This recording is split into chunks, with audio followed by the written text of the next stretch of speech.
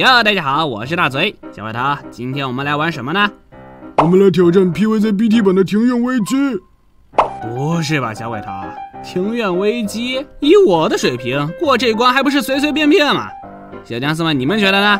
欢迎一键三连哦。老大，这次的挑战和以往不一样哦。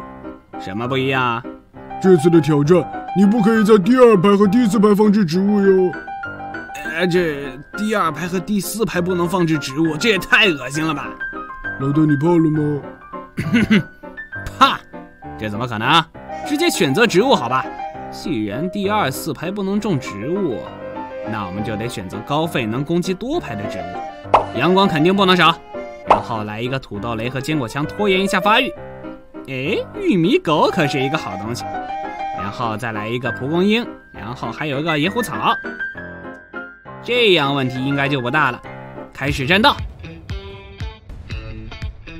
游戏开始，我们直接燃爆向日葵、摘摘萝卜组合，后面种一个向日葵，快速发育。反正这把只要扛住前期，就没有任何问题。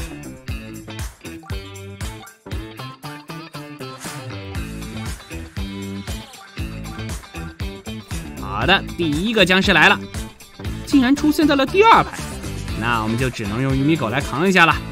其他的时间就继续种植向日葵，只要阳光够了，再把野虎草种上，基本上就能过关了吧。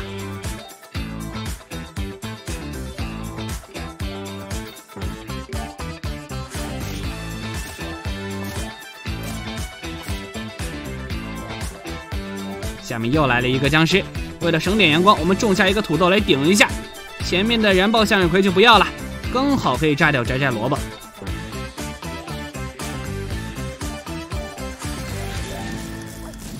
砍掉了其他的燃爆向日葵，我们就可以开始铺阵容了。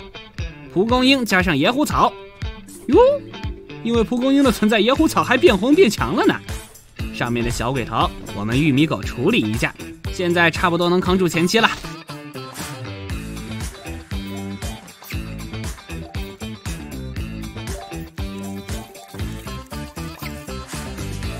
冷却好了，我们继续种植蒲公英，加上野虎草。等第一排种好了，我们的阵容就差不多的完成了。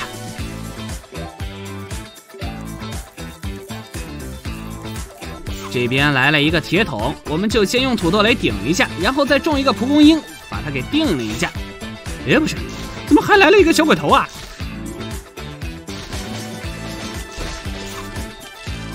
完了，倒下了，野虎草两下干倒。现在这个阵容成型了，不知道能不能扛住了。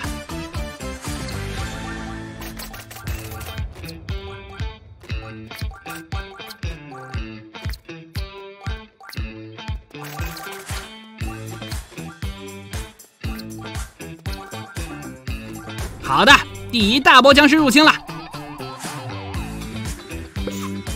这些小鬼头直接就被蒲公英秒了，真是不行啊！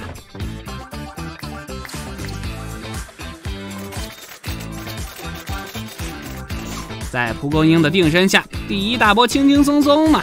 现在我们什么都不用管就行了，感觉这个强度还是很不错的嘛。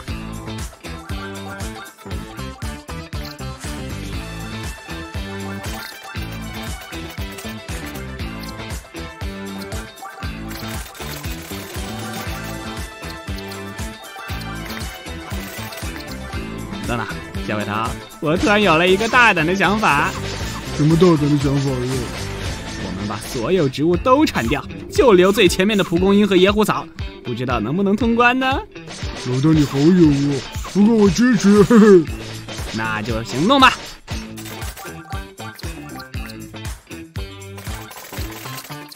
好的，现在就只剩下两个植物，迎来了最后一波僵尸的入侵，不知道能不能扛住呢？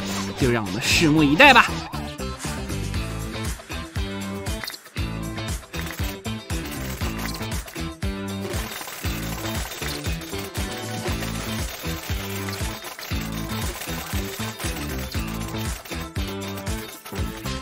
虽然牺牲了几个蒲公英，但是也是完全守住了，挑战成功。